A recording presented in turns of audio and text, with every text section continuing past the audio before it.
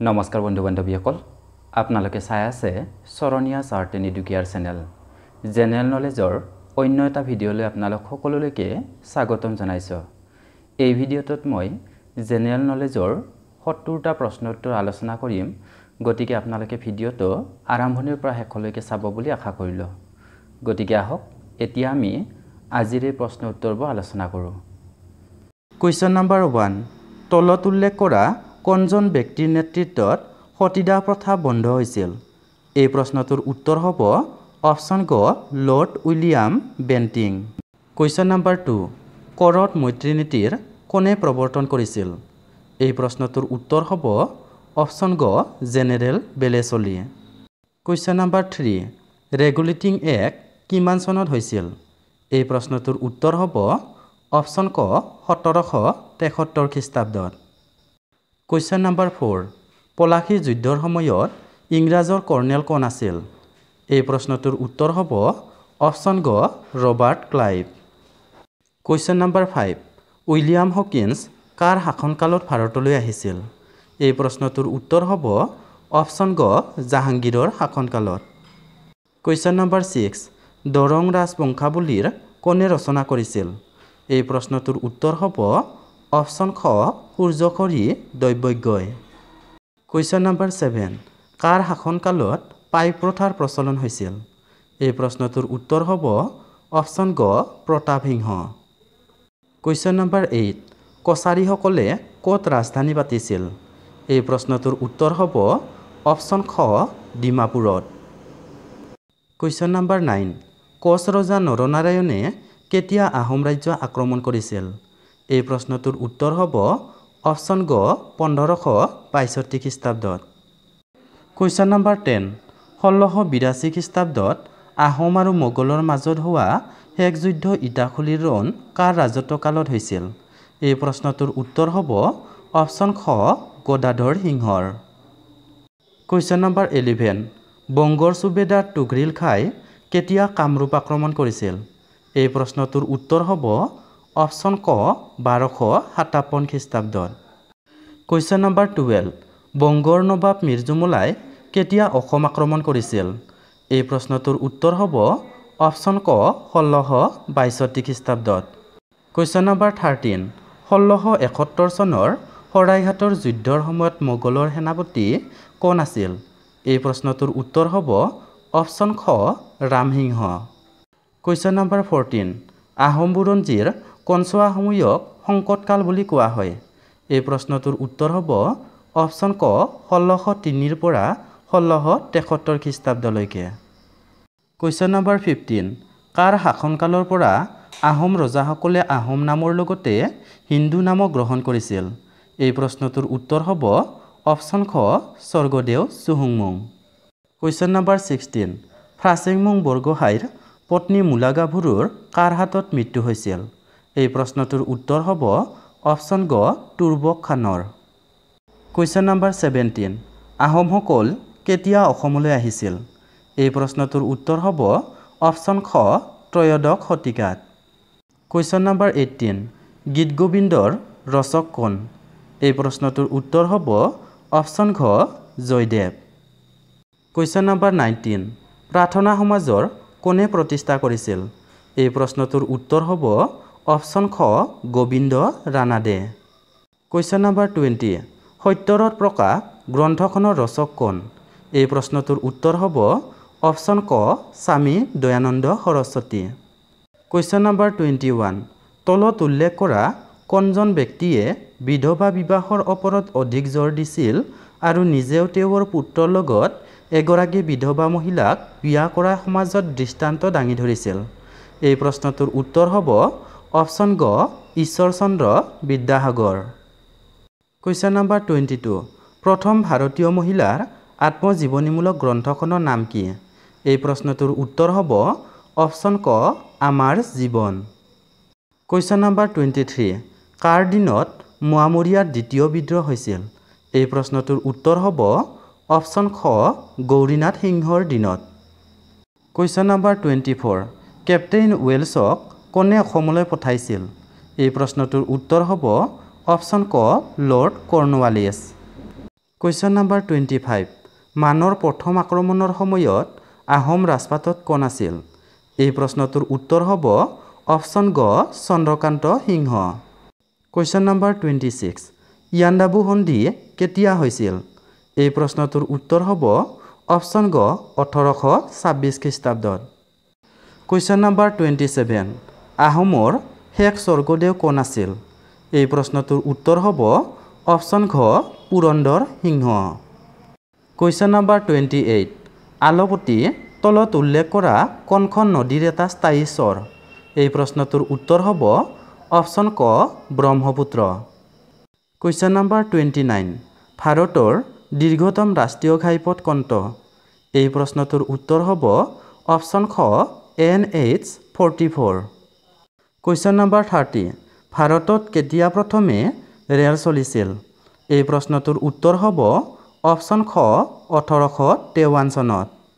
Question number thirty one সাঁতুৰিব পৰা সাগৰীয় প্ৰাণীবোৰ হ'ল? এই প্ৰশ্নটোৰ উত্তৰ হ'ব অপশ্যন ক nekton. Question number thirty two tsunami শব্দৰ অৰ্থ হ'ল? এই প্ৰশ্নটোৰ উত্তৰ হ'ব অপশ্যন গ পটাশ্ৰয়ৰ ঢৌ কুৱেশ্যন নম্বৰ থাৰ্টি থ্ৰী সৌৰজগতৰ কোনটো গ্ৰহক নীলা গ্ৰহ বুলি কোৱা হয়। এই প্ৰশ্নটোৰ উত্তৰ হ'ব অপশ্যন গ পৃথিৱী। কুৱেশ্যন নম্বৰ থাৰ্টি ফ'ৰ ভূমিকম্পৰ জোকাৰণিৰ তীব্ৰতা আটাইতকৈ বেছি হয়। এই প্ৰশ্নটোৰ উত্তৰ হ'ব অপশ্যন ঘ খ আৰু গ দুয়োটা। অৰ্থাৎ উপকেন্দ্ৰ আৰু অধিকেন্দ্ৰত। কুৱেশ্যন নম্বৰ থাৰ্টি ফাইভ দিনটোৰ ভিতৰত দুবাৰকৈ সাগৰৰ পানী উঠা নমা কৰাক কি বোলে? এই প্ৰশ্নটোৰ উত্তৰ হ'ব অপশ্যন খ জোৱাৰ ভাটা। কুৱেশ্যন নম্বৰ থাৰ্টি ছিক্স দুহেজাৰ এঘাৰ চনৰ লোকপিয়ল অনুসৰি ভাৰতৰ আটাইতকৈ কম জনসংখ্যা থকা ৰাজ্যখনৰ নাম কি? এই প্ৰশ্নটোৰ উত্তৰ হ'ব অপশ্যন ক Sikkim. Question number thirty seven আমাৰ দেশৰ তাপমাত্ৰাৰ ভিত্তিত নৱেম্বৰৰ পৰা মাৰ্চ মাহলৈ হ'ব এই প্ৰশ্নটোৰ উত্তৰ হ'ব অপশ্যন ক শীতকাল। কুৱেশ্যন নম্বৰ থাৰ্টি এইট লক্তঘ্ৰত কোনখন ৰাজ্যত অৱস্থিত? এই প্ৰশ্নটোৰ উত্তৰ হ'ব অপশ্যন খ মণিপুৰত। কুৱেশ্যন নম্বৰ থাৰ্টি নাইন উত্তৰ পূব ভাৰতৰ সৰ্বমুঠ মাটিকালি কিমান? এই প্ৰশ্নটোৰ উত্তৰ হ'ব অপশ্যন ঘ দুই লাখ পঁচপন্ন হাজাৰ তিৰাশী বৰ্গ কিলোমিটাৰ। কুৱেশ্যন নম্বৰ ফৰ্টি দুহেজাৰ এঘাৰ চনৰ লোকপিয়ল অনুসৰি অসমৰ কোনখন জিলাত শিক্ষিতৰ হাৰ আটাইতকৈ কম। এই প্ৰশ্নটোৰ উত্তৰ হ'ব অপশ্যন ক Dhubri. Question number forty one দুহেজাৰ এঘাৰ চনৰ লোকপিয়ল অনুসৰি অসমৰ কোনখন জিলাত সৰ্বাধিক লোক বাস কৰে। এই প্ৰশ্নটোৰ উত্তৰ হ'ব অপশ্যন গ নগাঁও জিলাত। Question number forty two O' N G চিৰ সম্পূৰ্ণ ৰূপ কি? এই প্ৰশ্নটোৰ উত্তৰ হ'ব অপশ্যন গ oil and natural gas commission question number forty three ইংৰাজসকলে ভাৰতৰ ভিতৰতে প্ৰথমতে ডিগবৈত খাৰুৱা তেলৰ সন্ধান কেতিয়া পাইছিল? এই প্ৰশ্নটোৰ উত্তৰ হ'ব অপশ্যন ক ওঠৰশ ঊনানব্বৈ চনত। কুৱেশ্যন নম্বৰ ফৰ্টি ফ'ৰ সম্পদ হ'বলৈ হ'লে তলৰ কণ্ঠ প্ৰয়োজন নহয়। এই প্ৰশ্নটোৰ উত্তৰ হ'ব অপশ্যন ক পৰিমাণ। বাকী অপশ্যন খত উল্লেখ কৰা প্ৰয়োজন পূৰাব পৰা সামগ্ৰী। অপশ্যন গত উল্লেখ কৰা ব্যৱহাৰৰ বাবে উপযোগী।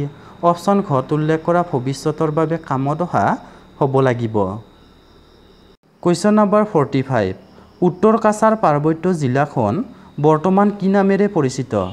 এই প্ৰশ্নটোৰ উত্তৰ হ'ব অপশ্যন খ Dima Hasao. Question number forty six কাঠফুলা আকৃতিৰ শিলা পোৱা ঠাই হৈছে এই প্ৰশ্নটোৰ উত্তৰ হ'ব অপশ্যন ক মৰুভূমি। কুৱেশ্যন নম্বৰ ফৰ্টি ছেভেন হিমবাহৰ অৱক্ষেপবোৰৰ নাম হ'ল এই প্ৰশ্নটোৰ উত্তৰ হ'ব অপশ্যন গ graph. Question number forty eight ভূমিকম্প জোখা যন্ত্ৰটোৰ নাম কি? এই প্ৰশ্নটোৰ উত্তৰ হ'ব অপশ্যন গ seismograph question number forty nine উত্তৰ ভাৰতৰ লু হৈছে এবিধ এই প্ৰশ্নটোৰ উত্তৰ হ'ব অপশ্যন ঘ স্থানীয় বতাহ কুৱেশ্যন নম্বৰ ফিফটি আমাৰ দেশৰ মুখ্য বতৰ বিজ্ঞান কেন্দ্ৰটো ক'ত অৱস্থিত? এই প্ৰশ্নটোৰ উত্তৰ হ'ব অপশ্যন ক মহাৰাষ্ট্ৰ। ই মহাৰাষ্ট্ৰৰ পুনেত অৱস্থিত। Question number fifty one ozone গেছৰ স্তৰটো তলৰ কণ্ঠস্তৰত অৱস্থিত। এই প্ৰশ্নটোৰ উত্তৰ হ'ব অপশ্যন খ stratosphere question number fifty two G P এছৰ সম্পূৰ্ণ ৰূপ কি? এই প্ৰশ্নটোৰ উত্তৰ হ'ব অপশ্যন গ global positioning system question number fifty three নাবিক আৰু বৈমানিকসকলে কি যন্ত্ৰৰ সহায়ত পৃথিৱীৰ যিকোনো স্থানৰ পৰাই গ্ৰীনিছ মানসময় জানিব পাৰে? এই প্ৰশ্নটোৰ উত্তৰ হ'ব অপশ্যন ক chronometer. Question number fifty four প্ৰাথমিক দ্ৰাঘিমা ৰেখাডালৰ স্থানীয় সময়ক কি বোলে? এই প্ৰশ্নটোৰ উত্তৰ হ'ব অপশ্যন খ গ্ৰীনিছ মানসময় কুৱেশ্যন নম্বৰ ফিফটি ফাইভ সমগ্ৰ ভাৰতৰ ভিতৰত বৰ্তমানেও বিনিময় প্ৰথাৰ প্ৰচলন থকা বজাৰখন হৈছে এই প্ৰশ্নটোৰ উত্তৰ হ'ব অপশ্যন খ Jonbeel Mela. Question number fifty six ভাৰতবৰ্ষত পঞ্চবাৰ্ষিক পৰিকল্পনাৰ কেতিয়াৰ পৰা আৰম্ভ হৈছিল? এই প্ৰশ্নটোৰ উত্তৰ হ'ব অপশ্যন ঘ ঊনৈছশ একাৱন্ন চনৰ পৰা। কুৱেশ্যন নম্বৰ ফিফটি ছেভেন আমাৰ দেশৰ নীতি আয়োগৰ অধ্যক্ষ কোন? এই প্ৰশ্নটোৰ উত্তৰ হ'ব অপশ্যন গ প্ৰধানমন্ত্ৰী।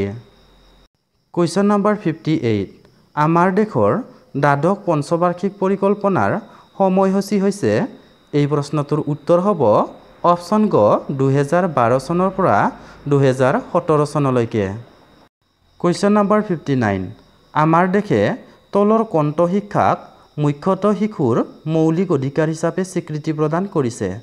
এই প্ৰশ্নটোৰ উত্তৰ হ'ব অপশ্যন ক প্ৰাথমিক শিক্ষাক। কুৱেশ্যন নম্বৰ ছিক্সটি তলৰ কোনটো ৰাজনৈতিক অধিকাৰ। এই প্ৰশ্নটোৰ উত্তৰ হ'ব অপশ্যন ক ভোটদানৰ অধিকাৰ। Question number sixty one Sikkim ৰাজ্যখন কেতিয়াৰ পৰা ভাৰতবৰ্ষৰ লগত লগ হৈছিল? এই প্ৰশ্নটোৰ উত্তৰ হ'ব অপশ্যন গ ঊনৈছশ পঁয়সত্তৰ চনৰ পৰা।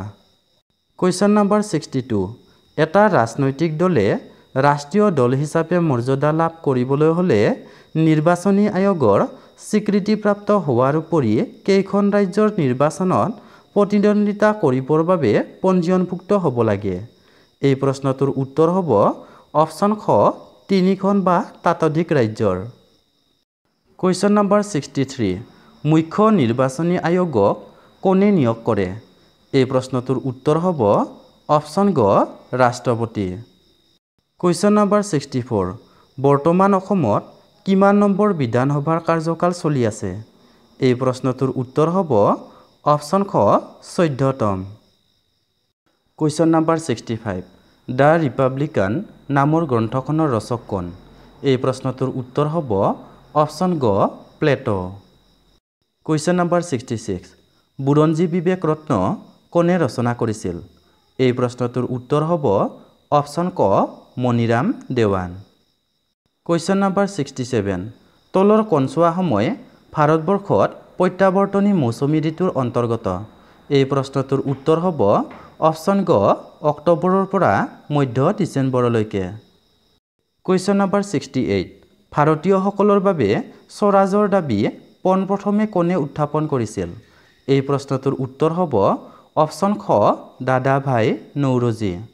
Question number sixty nine কোনজন আহোম ৰজাই কছাৰী ৰজাক থাপিত সাঞ্চিত ৰজাত পৰিণত কৰিছিল? এই প্ৰশ্নটোৰ উত্তৰ হ'ব অপশ্যন ক চুহুংমুং। কুৱেশ্যন নম্বৰ ছেভেণ্টি তথা অন্তিম প্ৰশ্ন টাইটান তলত উল্লেখ কৰা গ্ৰহকেইটাৰ কণ্টৰ উপগ্ৰহ। এই প্ৰশ্নটোৰ উত্তৰ হ'ব অপশ্যন খ শনি। শেষত সকলোলৈকে এই ভিডিঅ'টো ইমান মনোযোগেৰে চোৱাৰ বাবে অশেষ ধন্যবাদ আগবঢ়ালোঁ।